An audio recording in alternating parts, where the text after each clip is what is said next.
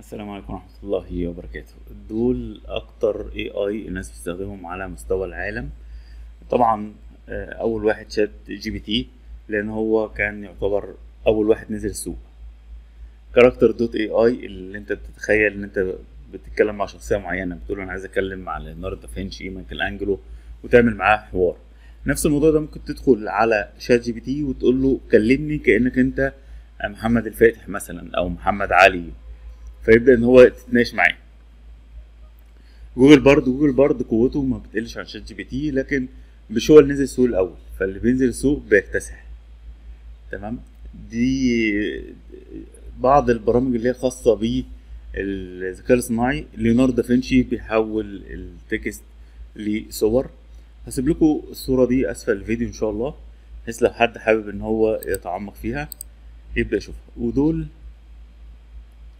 أكتر دول استخداما للذكاء الصناعي. ممكن واحد عادي يعني مش مبرمج ولا حاجة لكن بيستعمل الذكاء الاصطناعي ف United States الولايات المتحدة والهند إندونيسيا الفلبين البرازيل وهكذا. هنا ال AI شات الألوان بقى كل واحدة فيهم. دول مثلا. أهم مجموعة خاصة بالفيديو generator اللي هم دول. تمام؟ CapCut اتكلمنا عنه قبل كده برنامج قوي جدا. الاصفر ده other. عندنا مثلا Hugging Face ده أي حد بيخترع حاجة من الذكاء الصناعي بي open source وفي الأول بيبدأ يحطه هنا بحيث إن هو يبدأ يشوف ردود فعل الناس بتبقى عاملة إزاي. تقريبا أغلب الأدوات ناقشنا فيها اتكلمنا عنها قبل كده.